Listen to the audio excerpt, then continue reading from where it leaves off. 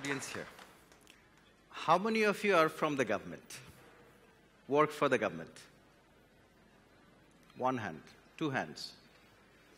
How many of you like government officers? No hand. No, no, there are a few. Okay, not bad. How many of you think that government officers can innovate to solve your problems? Oh, wow. That's pretty good, pretty good. About two years ago, I was giving a similar talk at the Yale School of Business, Yale University. And I was talking about government and innovation. And the audience thought I was joking. Government, innovation in the same sentence, they really thought I was joking. So many people don't like the government, don't like the government officers because they're inept, corrupt, but then what would we do without the government officers? How would you get your passports? How would you get your land records? How would you pay electricity bill? How would you pay taxes even if you don't want to? Do you know that the government, the government of Bangladesh, provides 3,000 different types of services to 160 million people through its civil service? My encounter with civil service started in high school when I was trying to get a passport for higher education in the US. It was a very long process, painful. Long lines, multiple times.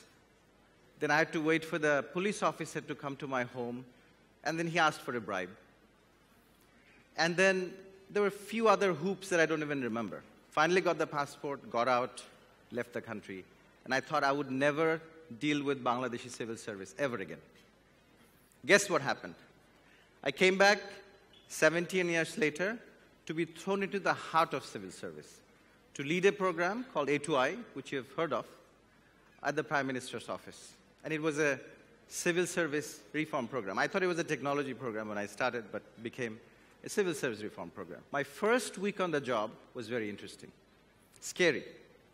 I was running a workshop, 16 participants, all senior civil servants from 16 different ministries they talked about how they wanted to use technology.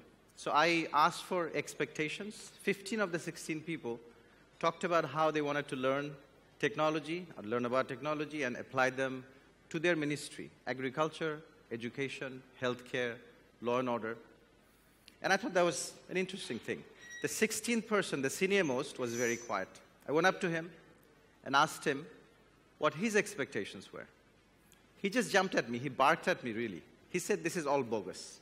I wouldn't have come, but your office, the Prime Minister's office, has called, so I could not say no. This is a waste of my time. You're going to waste five of my days.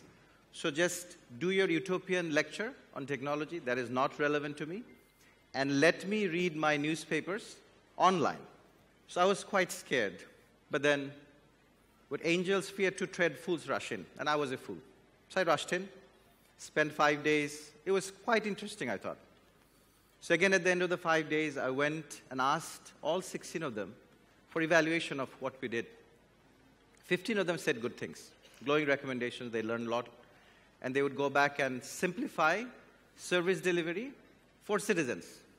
The 16th person was again quiet. I went up to him and asked for his opinion, very scared. What he said changed my life. He said, I've been in the civil service for 30 years. Soon I'll become a secretary. And I've never been in, a, in such a useful workshop in my entire life. I said, Why the U turn? What happened? He said, What we did here, we actually looked at simplifying service delivery processes. Let me show you a picture of that. He said, We actually drew pictures of how we deliver education, how we deliver loans, how we deliver passports. But we never drew pictures of how we do that. And we never eliminated steps from that whole delivery process. Take a look at this single one, which is getting electricity connection in the rural areas. And by simplifying, by eliminating steps, it went from 49 steps to 7, and the number of days that it requires to get electricity went from 20 to 90 days to 3 to 5 days. So that's the remarkable change this can happen. So I learned two things from that experience. One, he was not reading newspapers online, even though he really said he did. Second thing was that nobody in civil service, nobody in the government for over 100 years asked the question why don't we look at the service delivery process? Why don't we eliminate unnecessary steps? Why don't we simplify it for the citizens? Because the government is actually designed to be complicated. Why? Because that's how you govern a 100 million people with a few thousand. That's how it's done. So I thought the British had left the subcontinent. I was very wrong. The British still lives on through our civil service and through these complicated processes.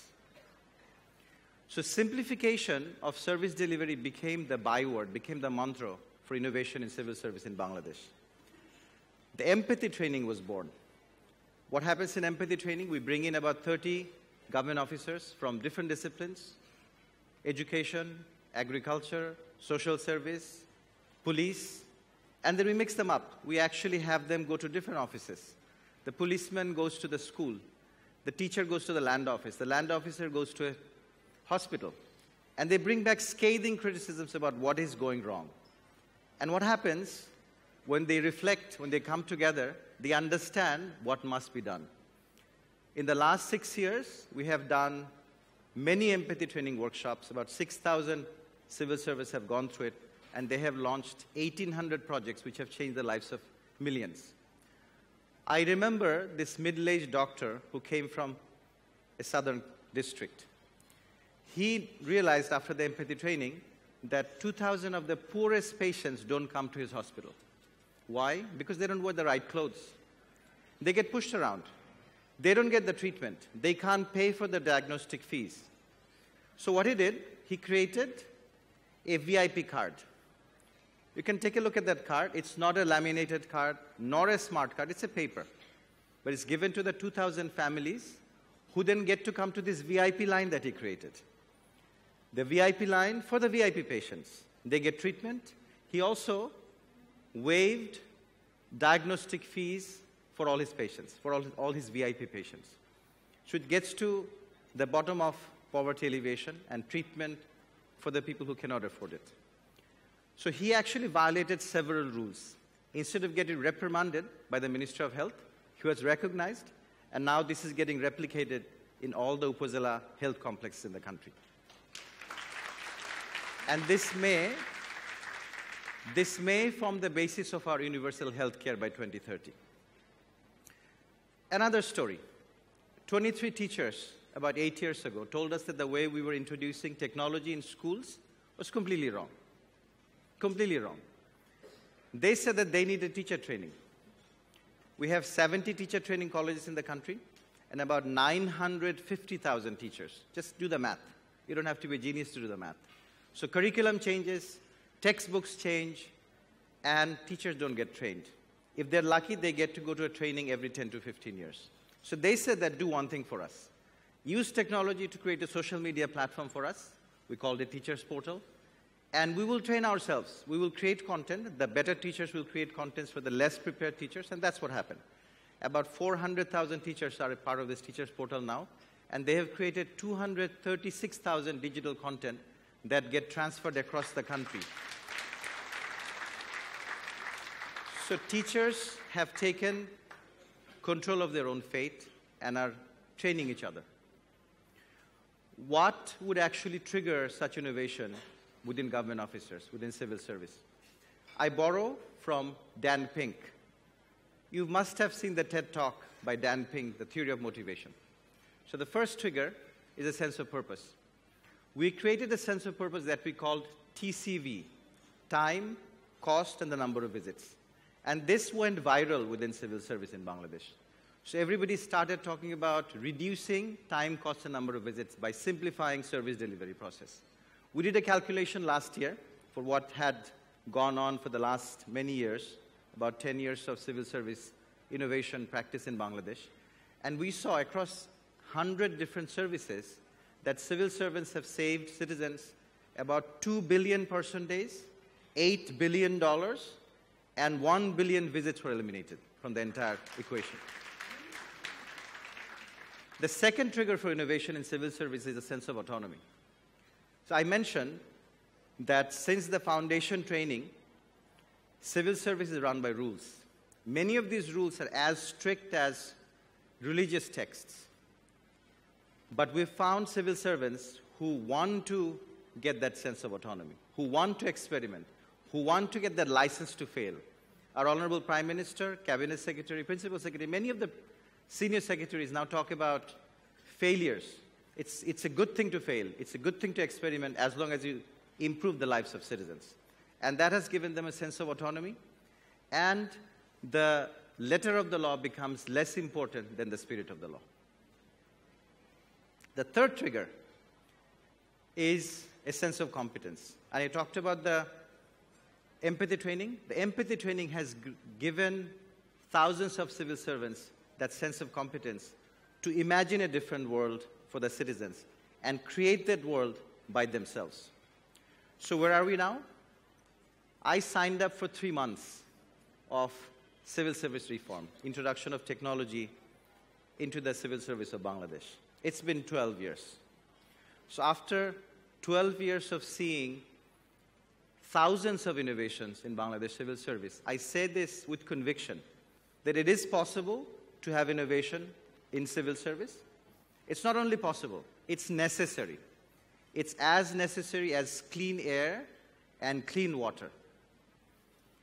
Would you rather wait in line for your passport, or would you rather have the passport and birth registration and driving license be delivered to your homes? What would you want to have happen? Second one. Okay.